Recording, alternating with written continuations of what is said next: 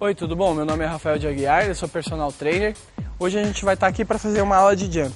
Jump é o único exercício que a gente vai ter que adquirir um aparelho para poder estar fazendo, porque não tem como não estar tá pulando em cima dele, tá bom? Então a gente vai começar porque é bem simples e fácil. Você vai começar pulando lá no meio, só marcando, lá no meio. Desse daqui você vai fazer dois minutinhos. Fez os dois, é bem fácil. Afasta as pernas e abre elas assim, ó. Mais dois. Fez dois minutos, uma perna só. Agora um minutinho só com a sua perna. Um minuto, troca de perna. Agora, para frente e para trás. Mais dois minutinhos. E para fechar a sequência, abrindo e fechando. Acabou? De novo. Marca dois.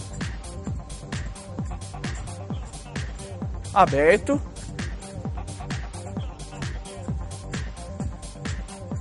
Com a direita. Esquerda. Para frente para trás. Abrindo e fechando. Deu isso daí? Fez dois minutinhos para as abertas e fechadas e um minutinho para perna só. Então você vai fazendo mais ou menos até dar uma, uns 20 a meia hora. Deu meia hora, aí a gente vai fazer um para fechar que é bem legal, que é um abdominal aqui em cima.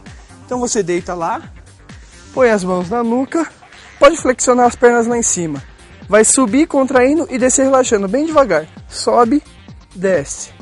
Sobe, desce. É legal que o jump te dá um apoio bem gostoso nas costas. Você não vai sentir aquele impacto que você tem no chão. Então você vai subir e descer. Fez 3 de 20, desce. Tá completo o nosso treino de jump para você queimar suas calorias de uma forma bem divertida aí na sua casa.